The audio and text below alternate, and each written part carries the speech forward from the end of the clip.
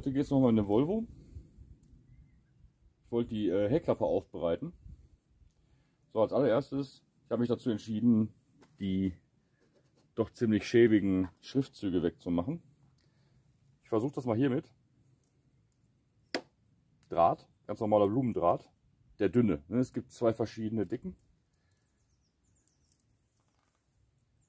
Ich versuche es mit dem dünnen. Mal gerade ziehen das Ganze. So. Mal gucken, dass wir das abkriegen.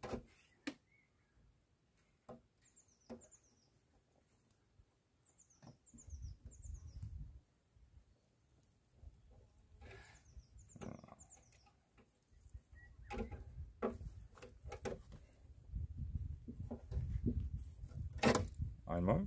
Natürlich Einzelbuchstaben, toll. Richtig gut. So. Das Ding ist ein Radiergummi. Für Klebstoff.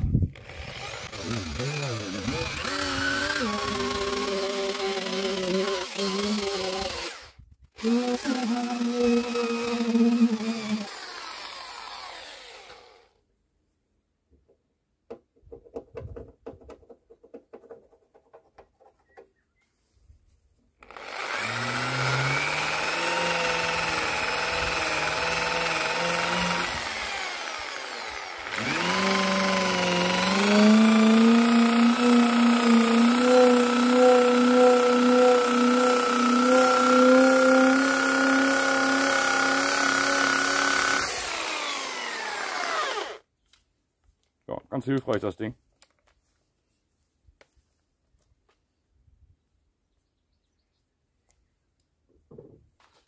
Jetzt wird die ganze Hellklappe abgewaschen.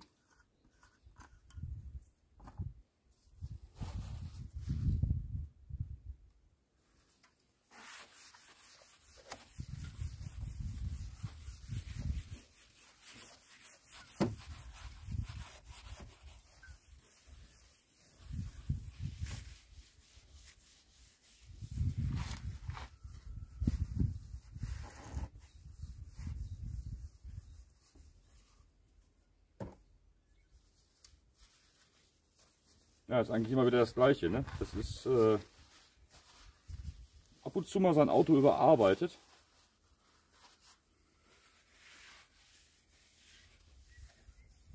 Das hat ein bisschen was mit Wertschätzung zu tun.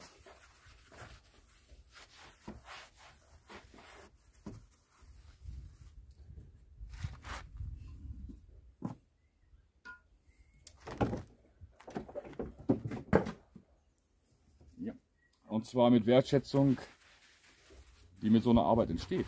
ne? Dann ist das ist die Haltung gegenüber so einem Auto auch eine ganz andere.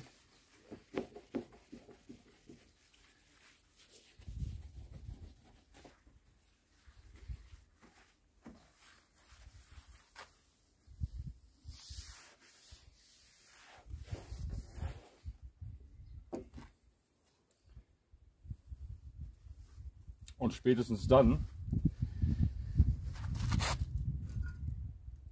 ist der Griff zum Telefon, wenn da so ein Kärtchen dran steckt, kaufe für Export, der rückt in weiter Ferne. Das ist meistens keine Option mehr. Ich für meinen Teil muss sagen, dass ich lieber ein Auto verschenke als es in Export zu geben. Normalerweise würde ich sagen, okay, die müssen auch leben, aber das machen die auch ohne mein Auto.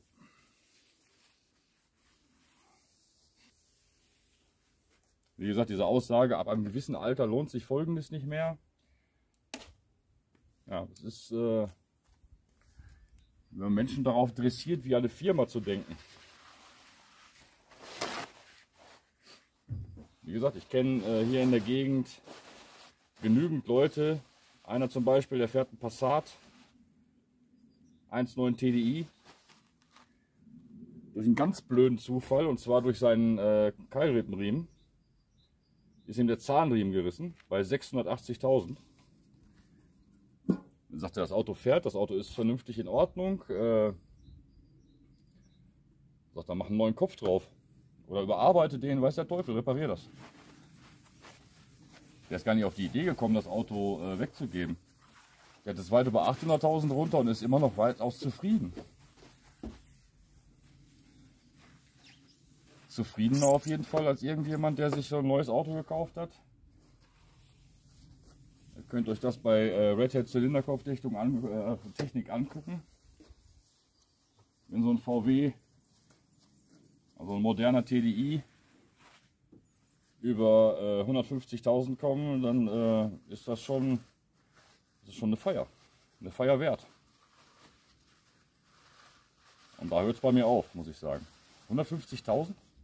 BMW sagt selbst, die Lebensdauer unserer Fahrzeuge beträgt 180.000 Kilometer. Die hat er hier zum zweimal ruhig. Also äh, bei 400 54.000.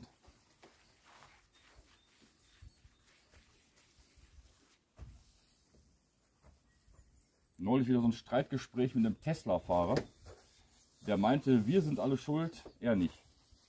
Klimawandel. Ich habe ihm nur gesagt, äh, ach und dein Auto ist vom Baum gefallen äh, oder ist das nicht produziert worden? Ja, aber und folgendes und Zertifikate und so weiter und so weiter. Ich dachte, du glaubst wirklich jeden Scheiß, ne? Das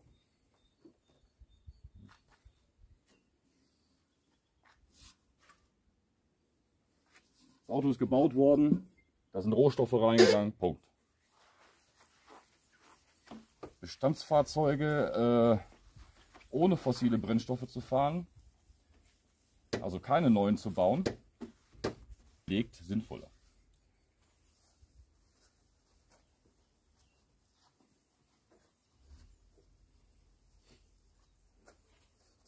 Und wenn es dann mal ein Neuwagen sein soll, Mazda hat gerade einen Diesel rausgebracht. Ich glaube 3,3 Liter Hubraum, Sechszylinder. Erfüllt jetzt schon Euro 7 oder 8. Da gab es dann von der Frankfurter Allgemeinen dann doch äh, den leichten Nebenhieb, dass es eventuell die bessere Idee sei, äh, Techniker an das Problem dran zu lassen, als sich irgendwo an die Straße zu kleben. Ist vielleicht doch sinnvoller, nach Lösungen zu suchen, als nach Konfrontation. Vor allen Dingen, wenn man nichts darüber weiß. Das ist das Problem. So viel Bildungsdefizit im Umlauf.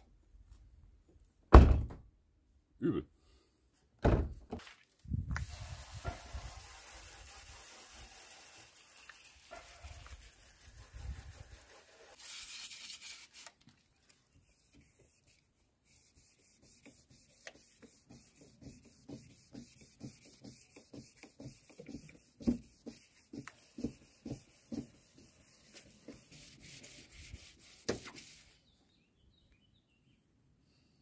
Na, hier muss man nächster Gelegenheit mal dran.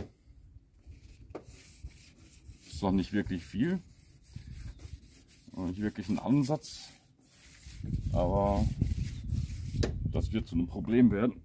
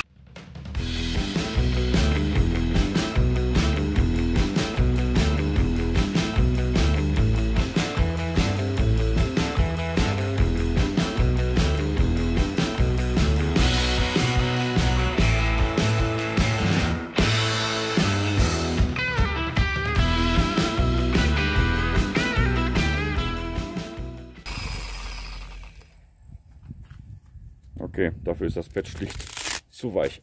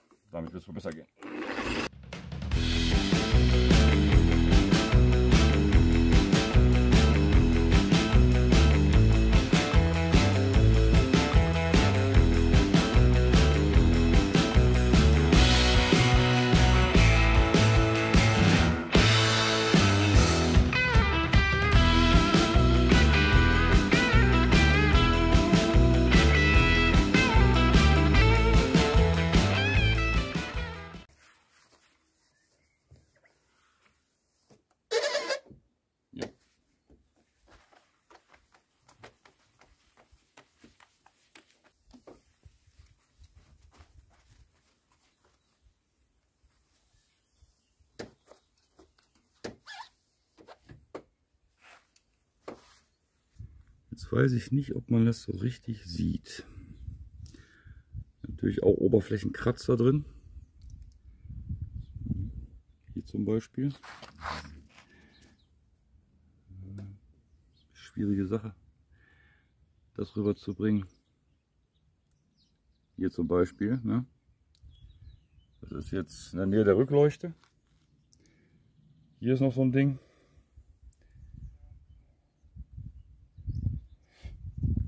Ja, wo ich schon mal dabei bin, ne? dann mache ich auch gleich alles.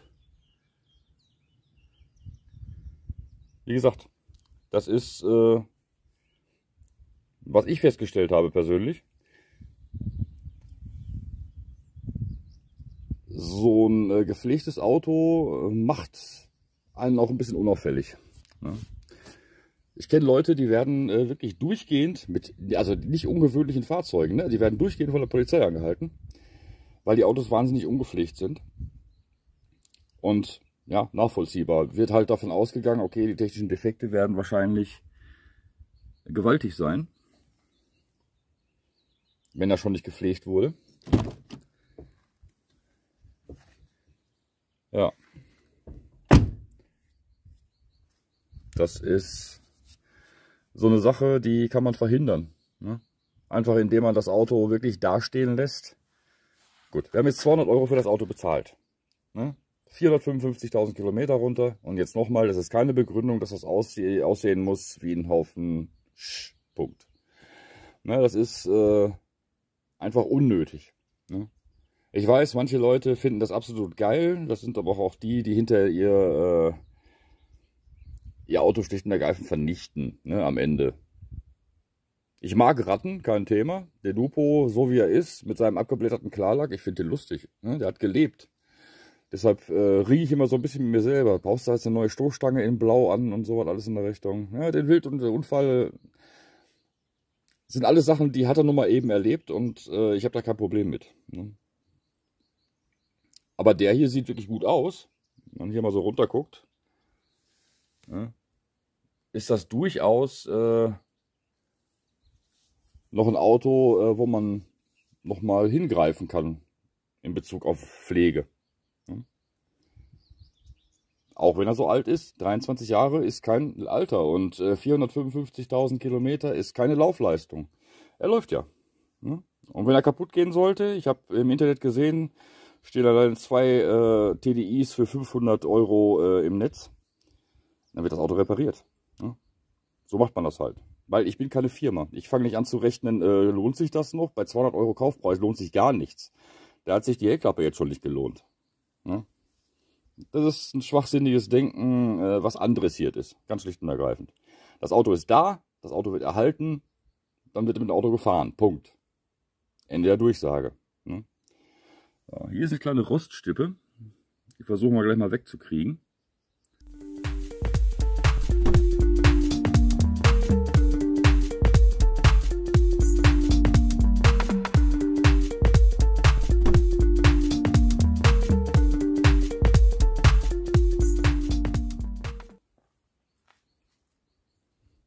hier ist ein kleiner Glasfaserstift. Damit kann man so kleine äh, Sachen entrosten.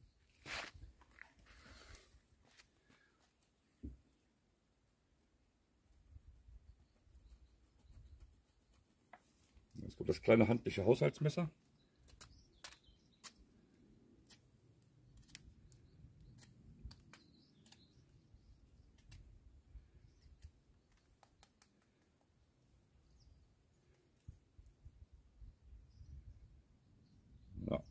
Bisschen aufklopfen hier unten. Ja, wir wollen nicht pinseln.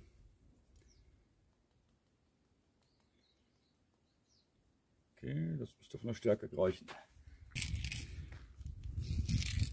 Irgendeinen Sinn müssen Blisterverpackungen ja haben. So.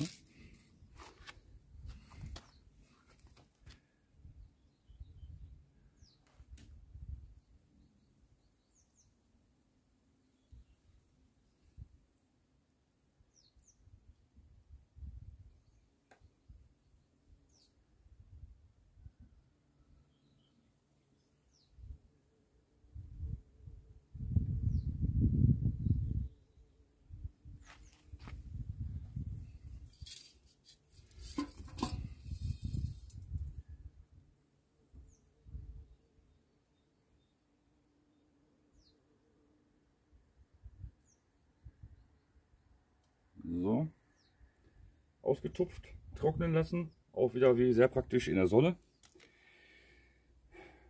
Jetzt nochmal bei einigen Kommentaren zum letzten Video. Ja, ich habe auch mal lackieren gelernt. Ja, ich habe auch eine Lackierpistole hier. Ich kann das auch anders. Äh, es geht darum, hm, Fahrzeuge zu erhalten. Mit möglichst wenig Aufwand. Ähm, ich kann das Ganze auch in der Werkstatt drehen dann hat aber keiner was davon, weil ihr habt keine Werkstatt zu Hause. Ja. Ich habe jetzt dieses Auto für 200 Euro gekauft. Jetzt macht das einer von euch. So. Und ich zeige die ganze Zeit äh, immer nur alles äh, von vorne bis hinten in der Werkstatt mit Profimaterial und so weiter. Das bringt euch nicht weiter. Ja. Das bringt euch nicht weiter. Davon gibt es schon genug. Ja. Es gibt genug Leute, die äh, zeigen, wie ihr es auf gar keinen Fall machen könnt. Deswegen war die Idee hinter meinem Kanal. Deswegen habe ich diesen Stall hier umgebaut, diese Scheune. Hier war ja kein Tor drin. Ja. Was kann ich in einer Garage machen? Gut, ist ein bisschen größer als eine Garage, klar. Aber darum ging es einfach. Was kann man in einer Garage machen? Was kann man da ausrichten? Wie kann man sein Auto erhalten? In einer Garage mit Standardwerkzeug. Ne, das meiste, was ich hier zeige, ist alles Standardwerkzeug, was für äh, wenig Geld über den Tisch geht. Ja. Und der durchschnittliche Mensch äh, hat keinen Kompressor zu Hause, keine Lackierpistole, äh, wird nicht die ganze Bude abkleben und auch nicht eine Woche an einem Schweller rumlackieren. Gehen wir davon aus, dass das eure Alltagsautos sind. Ihr kommt um 16 Uhr, jetzt als Beispiel, kommt um 16 Uhr äh, von der Arbeit nach Hause, geht irgendwas essen und so alles in der Richtung und setzt euch um 17 Uhr an die Heckklappe. So, am nächsten Tag braucht ihr das Auto wieder. Also werde ich jetzt bestimmt nicht zeigen, wie so eine Heckklappe professionell in einer Woche wieder komplett auf Vordermann gebracht wird. Kann ich machen. Bringt euch aber nichts. Ne? Ihr kennt alle die äh, grundierten äh, Gurken, wo irgendwelche Radläufe eingeschweißt wurden und so was alles in der Richtung. Und die kommen nicht weiter und genauso werden die auch verkauft. Weil die Leute einfach nicht weiterkommen. Weil keiner zeigt, pass mal auf, das kannst du auch zu Hause machen. So geht's. Nein, das ist immer ganz viel äh, Legendenbildung und das kann man nicht und dies geht nicht und das muss man professionell machen. Nein, muss man nicht. Diese Heckklappe ist jetzt lackiert. Ich habe sogar den Wischerarm lackiert. Beziehungsweise, äh, ne, der ist aus Aluminium. Ich habe den abgeschliffen und neu äh, geschwärzt. Zeige ich euch mal eben. So. Sieht schon mal eine ganze Kante besser aus. Kann noch eine Schicht vertragen hier. Da kommt es wieder so, na, ist doch, nee, ist nur Staub. Ähm, ne? Ich habe den Wischerarm einmal komplett gemacht. Sieht auch wieder ein bisschen gepflegter aus. Ne? Das sind hier Polierstippen. Ähm, auf dem Plastik. Ja. Na, das sind alles so Sachen. Es kam zum Beispiel aus der Community kam ein Tipp, äh, ich soll diese Leiste doch mal wegmachen. Sehe besser aus. Okay, ich stimme zu. Die hier oben ist dann auch gleich weggeflogen. Da, da war auch eine drauf. Wir sind beide weg. Ja, sieht wirklich besser aus. Vielen Dank für den Tipp. Ja, wenn man äh, anfängt, zum Beispiel, ich nehme es nur als Beispiel die Kommentarfunktion, ne? wenn man sich da gegenseitig Tipps gibt. Und nicht schreibt, äh, nee, das muss man professionell machen und so weiter, das ist alles blöd. Das hilft keinem Menschen weiter. Das, ist, äh, das sind Kritiken, die machen keinen Sinn. Davon hat weder irgendjemand jetzt eine Werkstatt, noch eine Hebebühne, noch eine professionelle Werkzeugausrüstung. Das haben diese Leute trotzdem nicht. Das Einzige, was diese Leute dann sind, eingeschüchtert, oh verdammt, das kann ich nicht zu Hause machen, muss ich in die Werkstatt geben, zu teuer, Auto weg. Ja. Es geht darum, ähm, doch, kannst du. Du kannst das zu Hause machen. Du brauchst kein professionelles Werkzeug, du brauchst auch keine Hebebühne. Das meiste, was ich hier mache, brauche ich keine Hebebühne für. Ne? Die Kupplung vom Sierra könnte ich auch, äh, könnte ich auch hier machen. Kein Ding. Aber das macht mein Rücken nur wieder nicht mit. Muss man äh, sich dann schon entscheiden. Geht das noch oder geht das nicht? Das zum Beispiel geht nicht. So, während das hier trocknet, machen wir eine kurze Pause. Bis gleich. So, der kleine komische Pickel ist die Farbe, die ich jetzt gerade aufgetragen habe. Tausender Papier. Auch immer ganz empfehlenswert beim Motorhauben etc. Ne?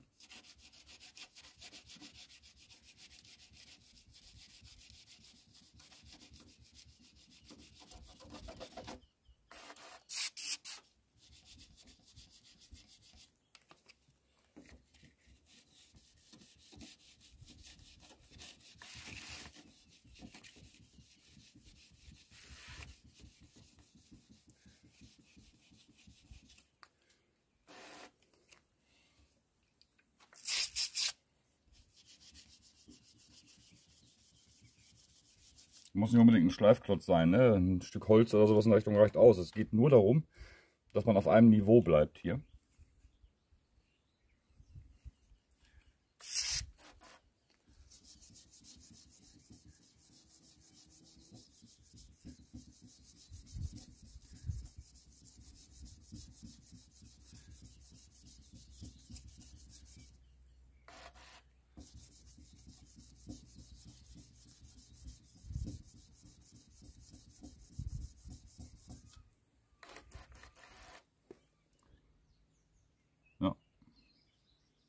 Sieht schon ganz gut aus, aber noch nicht richtig gut.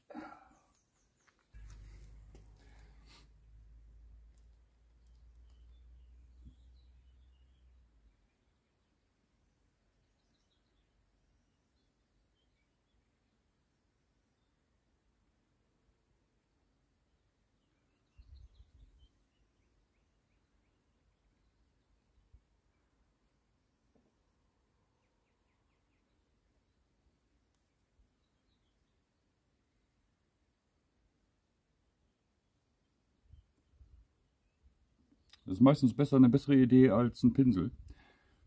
Weil wir wollen da wenig Farbe.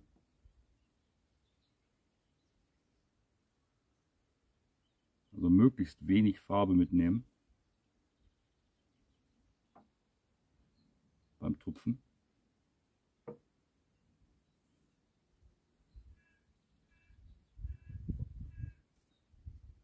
Alles was zu viel ist, müsst ihr hinterher umso mehr schleifen. Ne? So, zweiter Durchgang. Dann ist aber auch gut.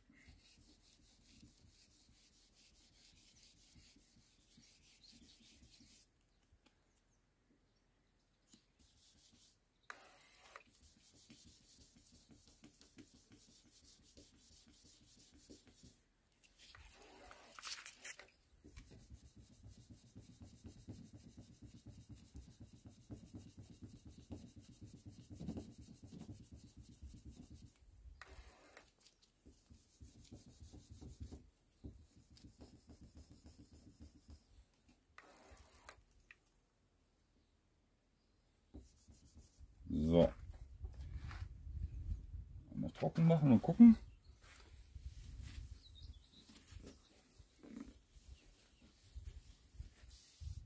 Man sich anfangen mit Airbrush. Das ist zum Beispiel so eine Stelle, da könnte man super mit Airbrush arbeiten.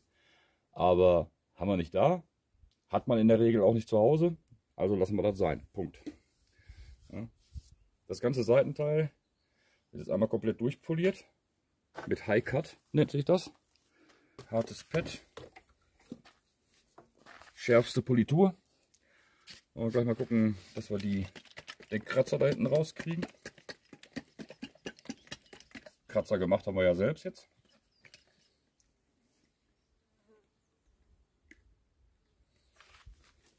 Und beim Polieren immer nur ein Teil machen vom äh, Fahrzeug. Ja? Nicht jetzt die ganze Seite durchziehen, das macht keinen Sinn. Du kannst diese äh, Politur auch in der Sonne verwenden. Da ist kein Silikon drin, das fängt nicht an zu kleben. Ne? Aber nicht zu viel machen. Das sollte auch nicht zu lange drauf bleiben.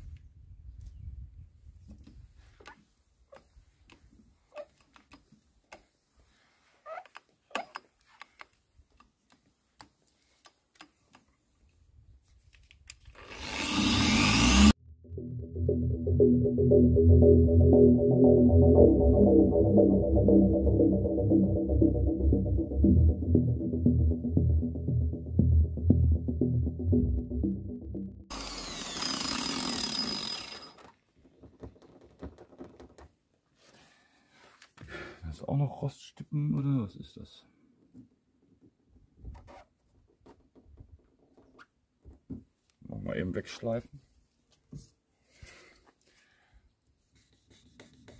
Einmal.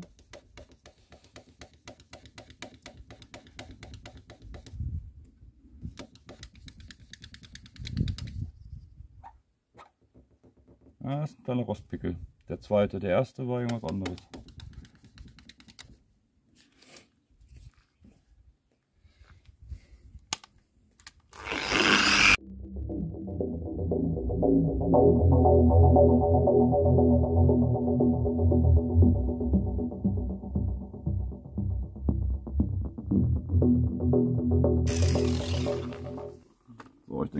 Sehen lassen für ein 23 Jahre altes Auto.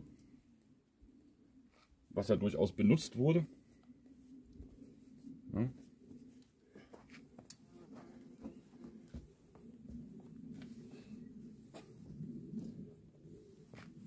Hm, Dass wir hier keinen Neuwagenglanz hinkriegen, ist klar. Ne? Aber, wie gesagt, er kann gerne gepflegt aussehen.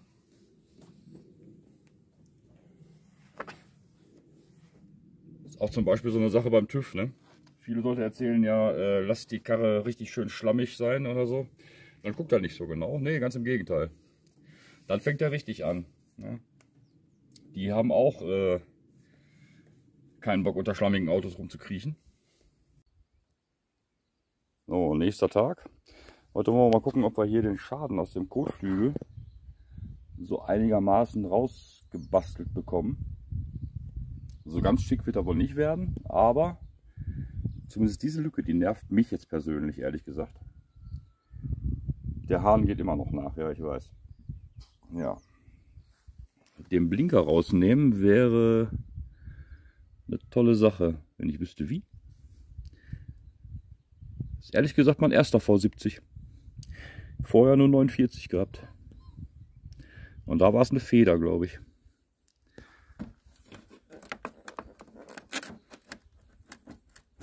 Okay, da sitzt er irgendwo drin. Hinterm Scheinwerfer hängt das.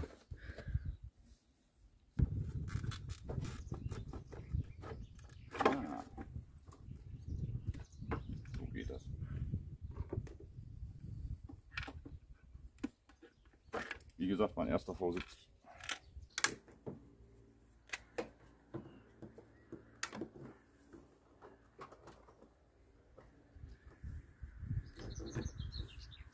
Ne, das wird nichts werden, weil er hier verbogen ist. Also doch ein bisschen mehr. Aber wir haben schon mal eine gute Grundlinie.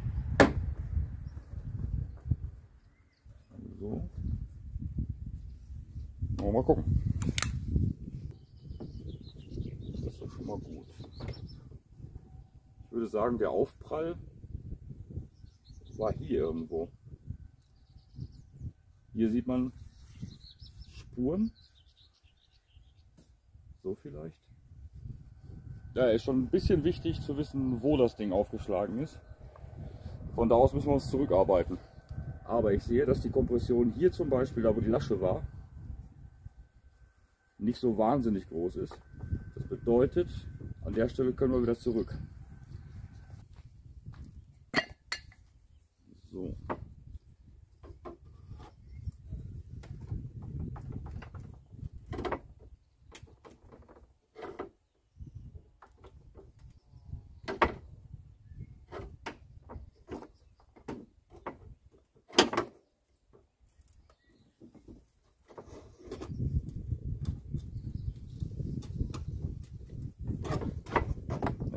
war der Aufschlag wirklich hier irgendwo.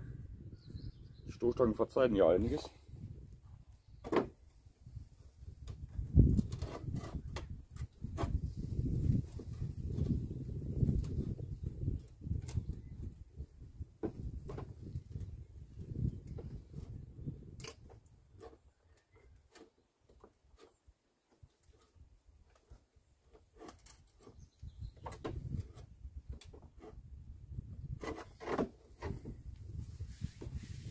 Hier wird schon ein bisschen weniger.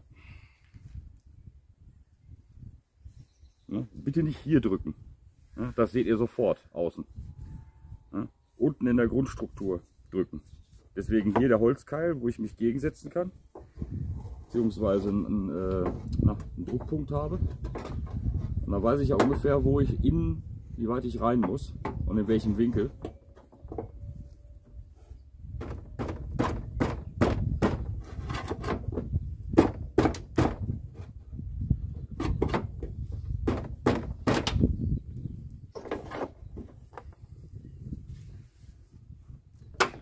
Ja, über die Befestigung der Stoßstange muss ich mir nachher nochmal Gedanken machen, weil das ist irgendwie zusammengefummelt hier.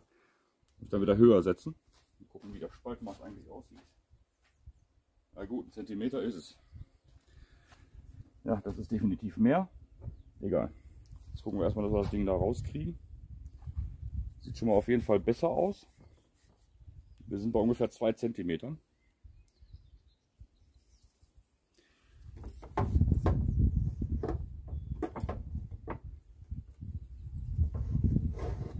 Ja, da ist irgendwo eine Delle drin da unten. Da wo der Aufschlag war.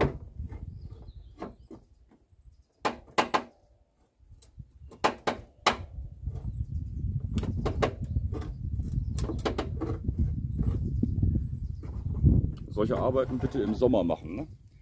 20 Grad sind Minimum, damit euch der ganze Lack nicht wegreißt und das Kunststoff, der Kunststoff nicht bricht.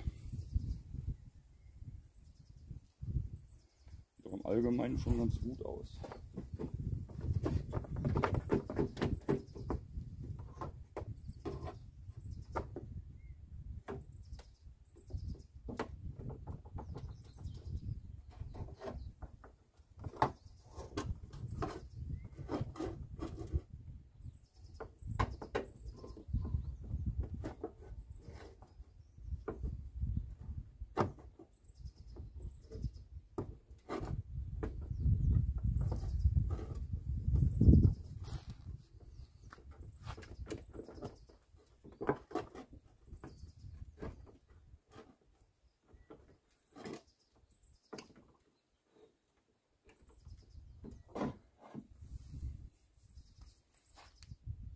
Passt das schon so eigenermaßen. Hier haben wir jetzt noch ungefähr 2 cm. Sollten wir aber hinkriegen. Okay, das sieht schon ein bisschen besser aus. Jetzt geht die ganze Kraft nicht auf das Scheinwerfergehäuse. Wäre blöd, wenn das jetzt auch noch abreißt. So. Gucken, dass wir hier vorne noch ein bisschen Druck drauf kriegen. So wie ein ganz handelsübliches Nageleisen.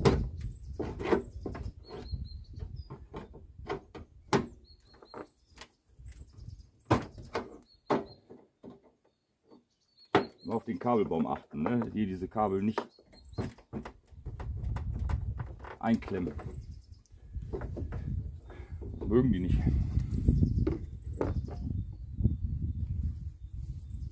Oh, noch ein guter Zentimeter.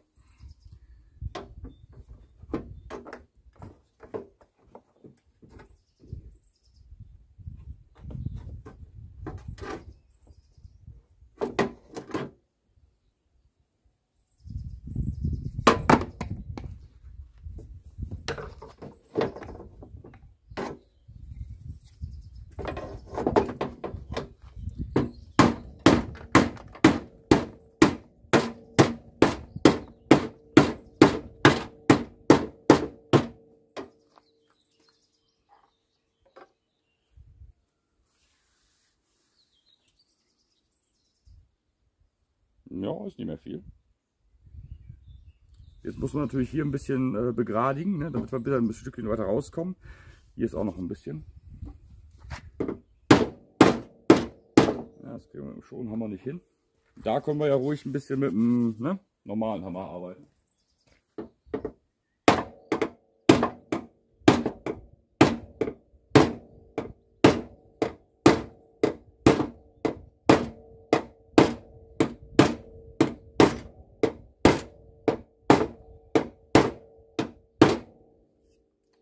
Diese Lasche müssen wir gleich auch noch aufbiegen, damit der Blinker wieder rein kann. Ne? So.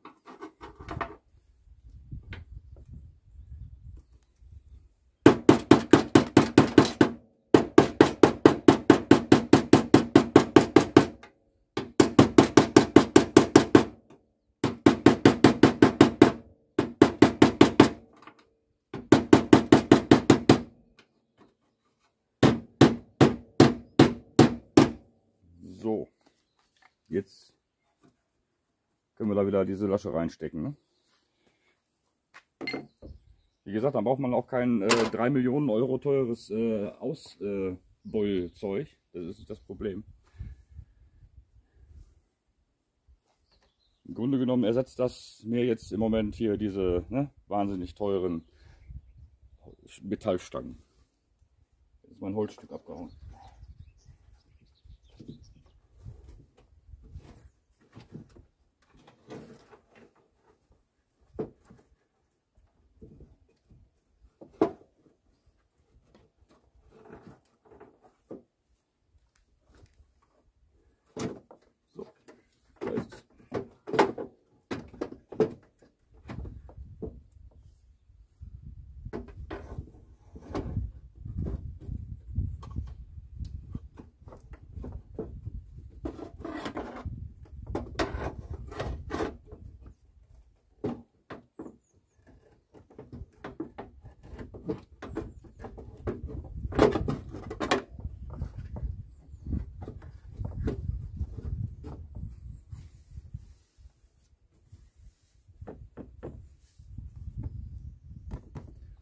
Stoßstangenhalter ist Gott sei Dank in Ordnung.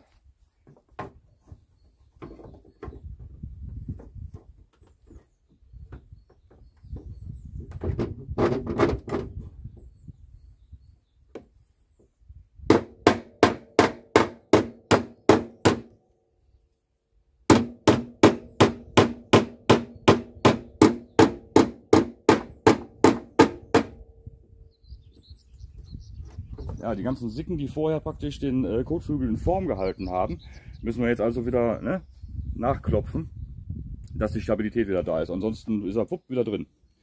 Ist gerade ein bisschen kompliziert, weil ich ausgewiesener Rechtshänder bin. Aber nichts ist unmöglich.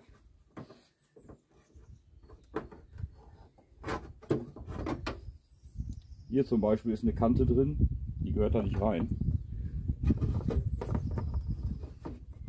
Verhindert gerade, dass dieses Zurückspringen aufhört. Deshalb gehe ich jetzt also hier unten praktisch rein.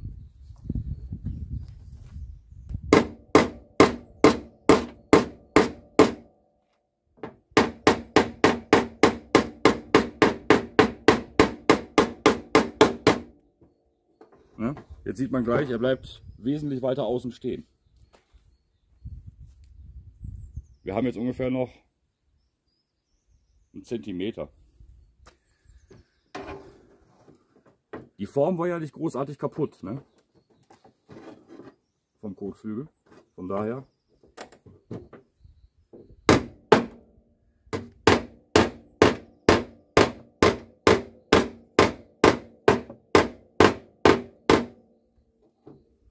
Ja, noch einen halben Zentimeter. Genau hier ist ein Knick drin. Ne? Hier hat der Aufprall stattgefunden. Hier ist ein Knick drin, den müssen wir irgendwie rauskriegen. Also Druck nach außen, die alte Form herstellen und dann praktisch anpassen, diesen Knick wieder zurück, dass hier alles stehen bleibt. Es muss also kein neuer Kotflügel drauf, nicht zwangsläufig.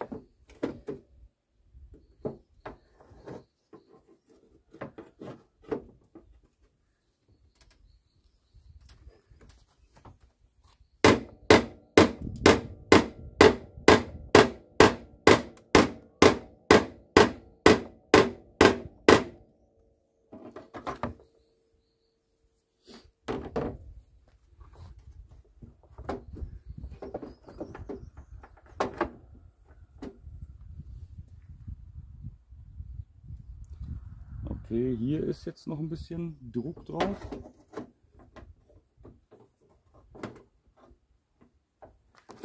Ah ja.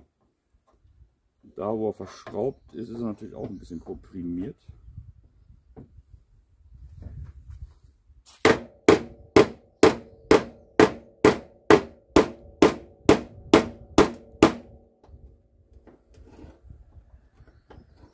Ein Golf.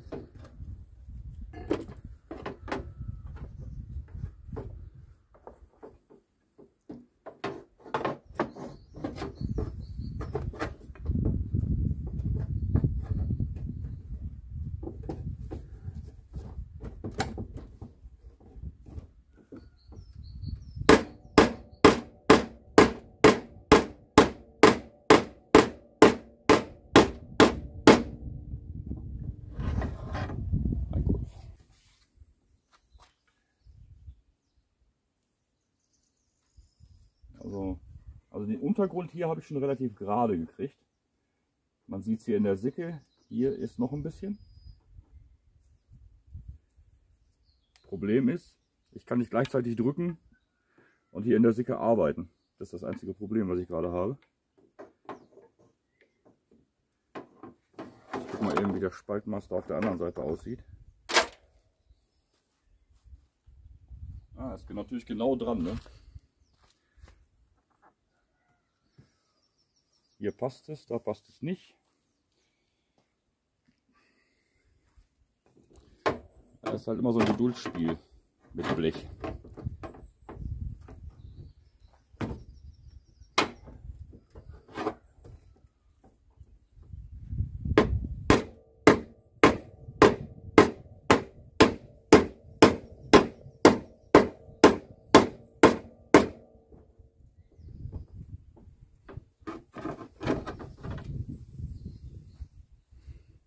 Wesentlich besser aus, finde ich.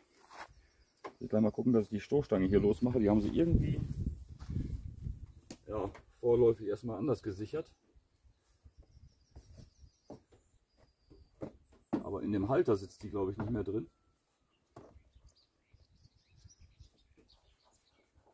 Mal gucken, dass wir diese Spuren gleich wegkriegen. Der Blinker sollte wieder drin sitzen. Jetzt kommt noch die Delle.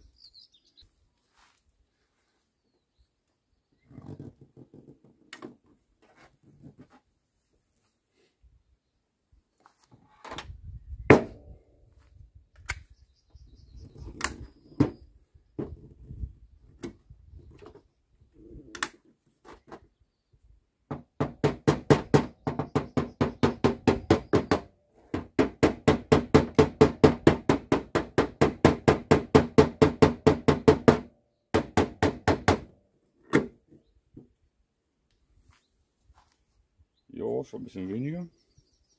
Aber dieser Knick hier, ne, der ist natürlich fies. Dafür ist der Saugnapf einfach zu großflächig.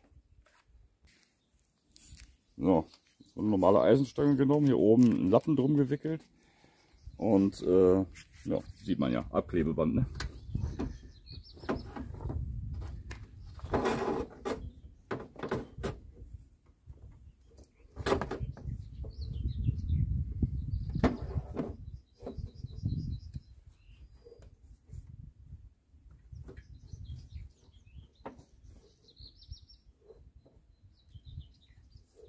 Schön wäre wissen, wo ich eigentlich bin.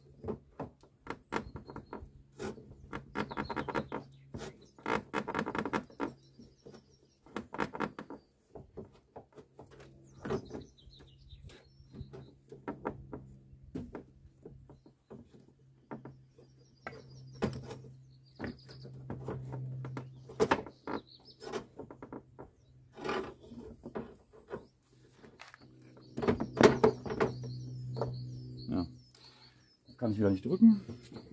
Vielleicht so.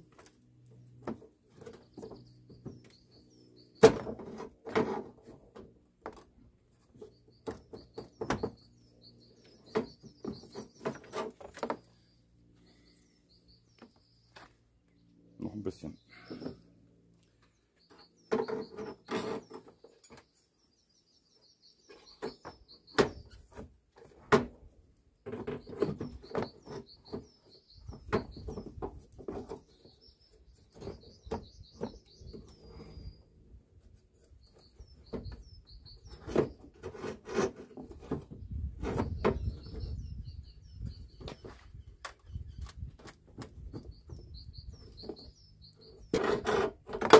Ja, das mit diesen Klebepads wollte ich unbedingt mal ausprobieren. Ich glaube, das wäre hier so ein Fall.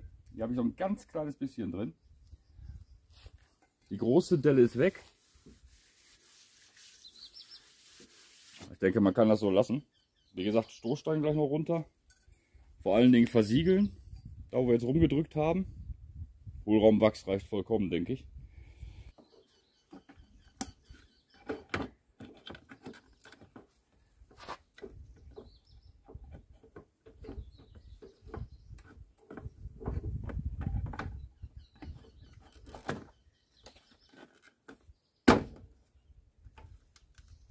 Passt.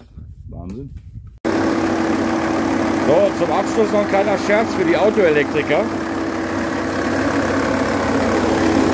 Der Regler ist abgeklemmt.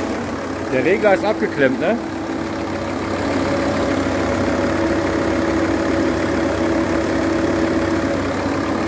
Überspannung trotz abgeklemmten Regler. Hier dürfte eigentlich gar nichts kommen, weil die Erregerspannung fehlt, richtig?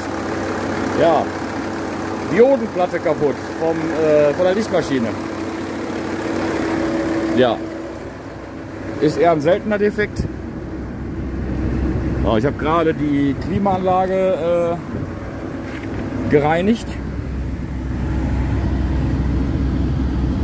Das geht mit so einem Ding. Ne?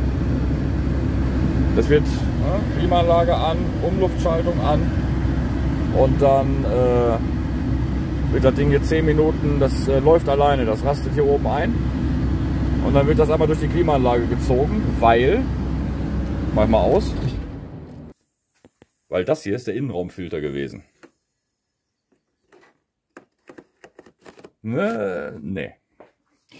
Gar nicht gut, ne? Dachte ich mir. Ja, der sitzt hier drunter. Deswegen habe ich die äh, komplette Anlage jetzt mal desinfiziert. Das hier ist schon länger da drin.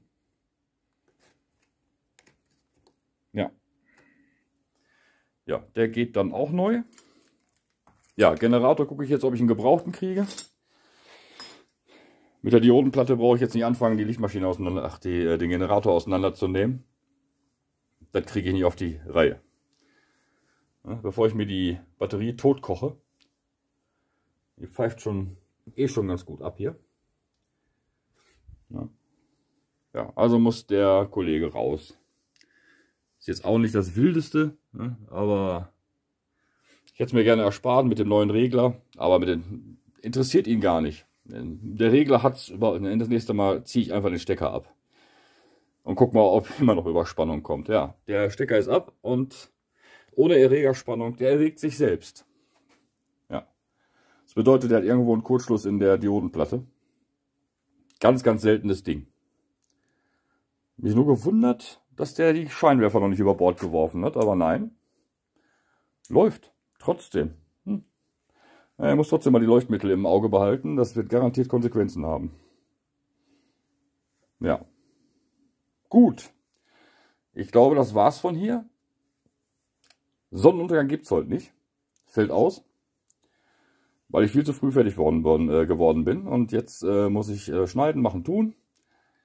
Und äh, ja. Und mal gucken, ob ich einen Generator irgendwo kriege. Der, der dürfte sogar der gleiche wie im T4 sein, meine ich. Ich glaube, dieses ganze Paket ist gleich da unten. Ich guck mal. Sehe ich aber am Teilehändler, wenn ich dann äh, quasi auf, die, auf den Generator gehe und dann auf ähm, geeignete Fahrzeuge, dann sehe ich das. Könnte sogar baugleich mit dem T4 sein. Ich meine, die Regler wären es auch. Ja. Dann wollen wir mal gucken, dass wir es auf die Reihe kriegen. Ja, die Batterie klemme ich jetzt erstmal ab. Ja. Dann ist es nämlich die Diodenplatte, die da den äh, Strom zieht. Ja, herzlichen Glückwunsch. Und ich dachte, das wäre der Regler gewesen. Naja, man lernt nie aus und ich bin auch kein Kfz-Elektriker. Ne? Ja.